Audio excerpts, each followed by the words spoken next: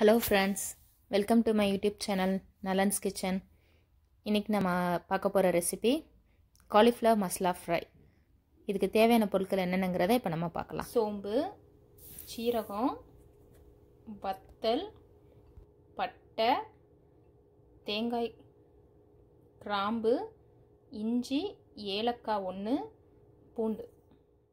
ஒரு கொஞ்சம் தக்காளி ஒரு ஹாஃப்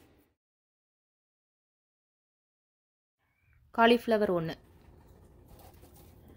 ஒரு பாத்திரத்தில் எண்ணெய் ஊற்றிக்கோங்க எண்ணெய் வந்து கொஞ்சம் சூடாகவும் நம்ம கட் பண்ணி வச்சுருக்கிற காலிஃப்ளவரை அதில் போட்டு கொஞ்ச நேரம் நம்ம நல்லா வதக்கணும்.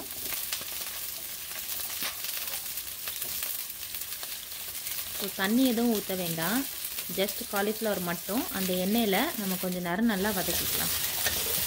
ஸோ காலிஃப்ளவர் வதங்குற அந்த கொஞ்ச நேரம் டைமில் நம்ம இப்போ இன்க்ரீடியன்ட்ஸ் எல்லாத்தையும் நம்ம நல்லா மிக்சியில் அரைச்சி நல்லா மையாக அரைச்சி எடுத்து வச்சுக்கோங்க. எல்லா இன்க்ரீடியன்ஸும் வெங்காயம் தக்காளி எல்லாம் சேர்த்து நல்லா மையாக அரைச்சி வச்சு அந்த மையாக அரைச்சி வச்சதை இப்போ நம்ம இந்த காலிஃப்ளவரோட சேர்த்து போட்டு மிக்ஸ் பண்ணி கொஞ்ச நேரம் இன்னும் கொஞ்சம் நேரம் நல்லா ட்ரையாக ஃப்ரை பண்ணணும். ஸோ இப்போது நீங்கள் தண்ணி நிறைய ஆட் பண்ண வேண்டாம். ஜஸ்ட் அந்த மசாலாவில் இருக்கிற தண்ணியிலே கொஞ்சம் லைட்டாக லைட்டாக தண்ணி விடும். ஸோ அதுவே போதும்.